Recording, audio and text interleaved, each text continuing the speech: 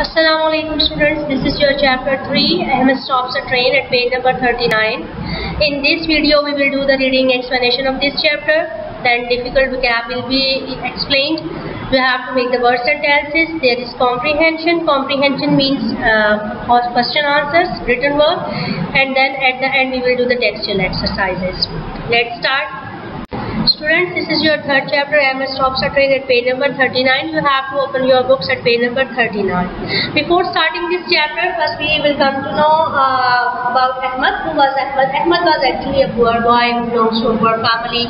He was uneducated. He wanted to get education, but uh, unfortunately he didn't get it but later his uh, in the story his courageous action and uh, his uh, courteous action made him popular and he uh, and he saved many people's lives. Let's start. Ahmed was born into a family of five consisting of his parents and two siblings. Siblings means brothers and sisters. Actually he was uh, uh, he was having one brother, one sister, two parents and the fifth one was he was himself. Early in life, he learned about the hardships of his life and started helping his father in his work.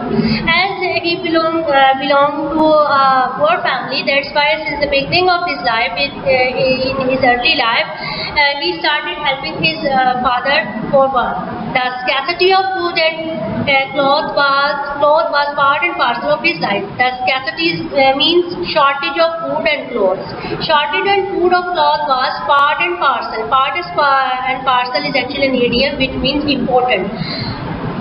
So the shortage of food and cloth was important part of his life.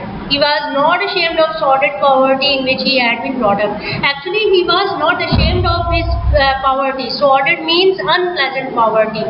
They were very poor. That's why this word is used over here. Sordid, unpleasant. He was, but he was not uh, ashamed of all these things. Instead, he was extremely proud of his parents who worked day and night to feed the family. This paragraph is about the sorrows and wishes of Ahmed. His only sorrow was his illiteracy. He couldn't read and write. Uh, it pained him to see other children in neighbors neighborhood sitting around their homes happily laughing at colorful storybooks and scribbling down stories for their teachers. Actually, he feels uh, he felt pain when he saw other children uh, sitting around their homes happily laughing and coloring at their storybooks and scribbling down uh, scribbling uh, means carelessly writing down stories for their teachers. He felt sad looking at the neatly dressed school-going children. Actually, he wanted to dress up for the for school, but unfortunately, he didn't get this chance. He promised himself that he would he would educate himself. This is uh, this was his wish that he wanted to get uh, wanted to get education and free his family from the class of poverty. Uh, class of poverty means uh, here the poverty is used as a symbol of uh, symbol of bird. Bird birds are having claws. Claws means uh, pointed and curved nails of uh, nails of birds. And as the as the bird catches its uh, its prey, as as a bird as, as a bird catches its prey in its claws, likewise poverty has caught them in, in, in its claws. In the hope of uh, gaining some knowledge, he used to go to a nearby school, sit outside listening to the teachers. He followed classes in English and math and especially enjoyed the storytelling session that always seems to take place on Friday afternoon. Actually, he was not admitted in the school, but he even then went to the school, sit outside the school, outside the classrooms, and tried to listen uh, to the teachers. He liked to listen the story. Uh, he, he enjoyed the storytelling session uh, most of all. Obviously, it would be an English class, and uh, which took place on uh, which took place on Friday afternoon. He was often asked to leave the school grounds as he was not the student of the school, so that's why the peons and sometimes the teachers asked him to leave the school. But even then, however, this didn't dampen his spirits. Dampen his spirit, uh, dampen his spirit means uh, this is uh, also an idiom which means to give up. He didn't give up. It made him bolder and more determined to educate himself. This thing made him more bolder and more compassionate to get education. Before starting the next paragraph in which the uh, incident of landslide occurs or happens, uh, I want to tell you about a landslide. What is a landslide? A landslide is defined as the movement of a mass of rocks, debris or are down a slope. You may see a picture of landslide on the right side that how it uh, damages the roads or uh, railway tracks and how it blocks the roads and tracks. So this is uh, from this picture you will come to know that how the landslide occurs. One day while walking near a railway line surrounded by hills, he noticed a landslide about to. I have already told you about the landslide. A, a landslide was going to be occur over there. Although he had never been to school, he had, he had learned about how dangerous landslides were from listening to stories told by his grandfather. Uh, uh, actually, he was not admitted in a school, but uh, he knew about the landslides from the, from the stories which he had listened from his grandfather. He ran as fast as he could along the railway line to save himself himself from the landslide. Unfortunately, his foot got trapped. Trapped in means caught in the railway track and he fell and in, uh, he fell injuring his knee. After falling, uh, uh his uh, knee got injured. He started limping towards home. Limping means uh, move, uh, move with difficulty uh, due to an injury. Uh, he started limping towards home with his painful bleeding knee. He thanked God for saving his life from the landslide and hoped at the same time that no train would come that way as there were boulders on the railway track. He thanked God that he was saved from the landslide, but he also he was also uh, wishing that no train would come on the same track because uh, there were um, boulders means uh, there were boulders on the railway track. Boulder means small and big pieces of rocks were and they have blocked the railway track and that would be catastrophic. However, to his horror, MSR train coming towards him on the same blocked railway track, he immediately imagined that if the train did not stop in time, many people's lives would be endangered. Actually, the train was coming on the same block railway track and that thing horrified Ahmad because he knew if he didn't uh, if anybody or he did not stop in uh, the train in, uh, in time many people's life would be in danger. At that time the communication system in the train between the driver and the safety official was not very well developed. So the driver was uh, uh, not aware of the danger facing the train. And when knew he had to do something.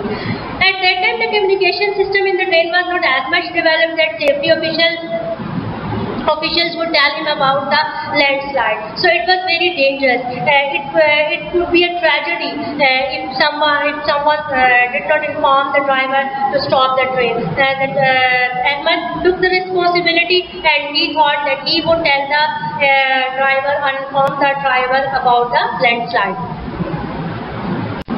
This is the picture of Ahmed's courageous action, how he managed to stop the train.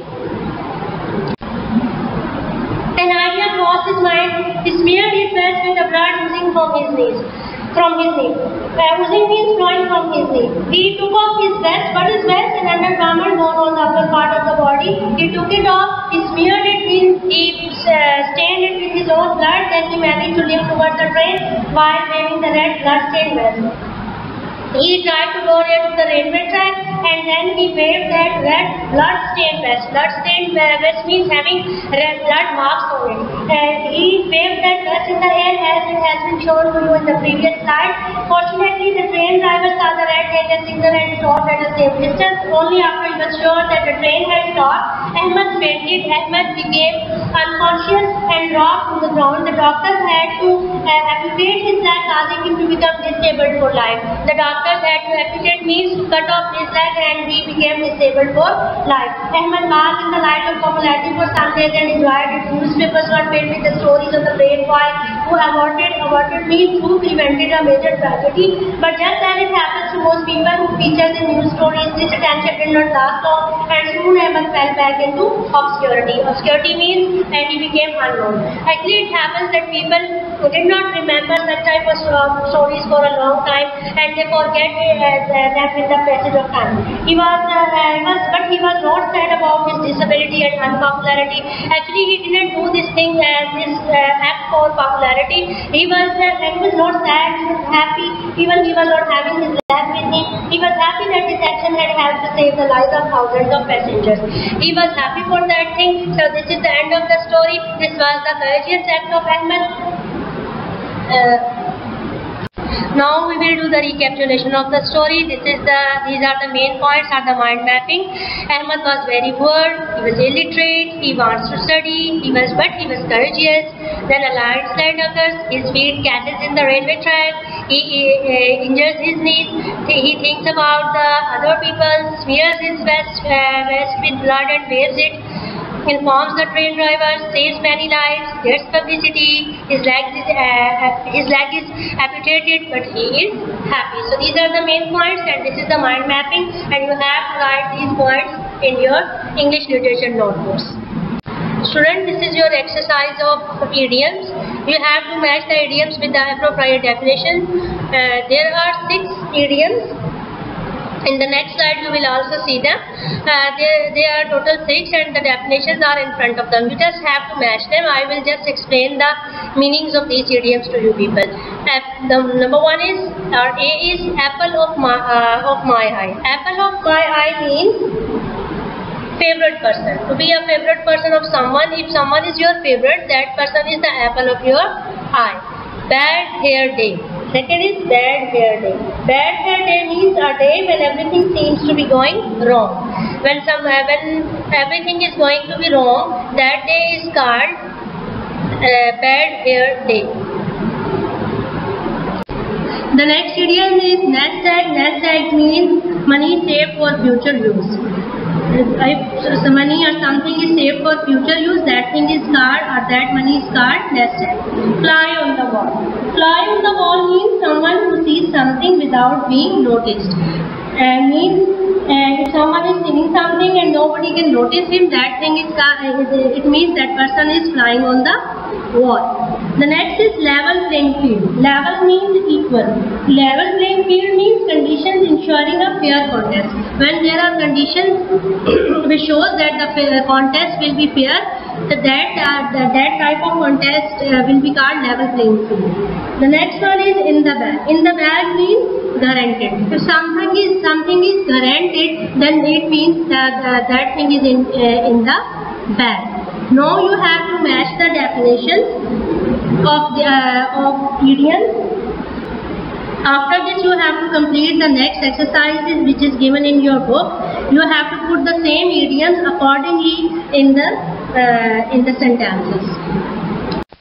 Students, this is your home assignment. You have to solve idiom exercise 2 at page number 43 as I have explained in the slide related to idioms then you have to prepare a presentation. Prepare a presentation on any one of the following. Nelson Mandela Abdul Sattar Helen Keller. You may have uh, you may have to choose um, students this is your home assignment. You have to solve the idiom exercise at page number 43 as I have explained the um, idioms in slides. Question number two is prepare or make at least 10 fill in the blanks from the given chapter.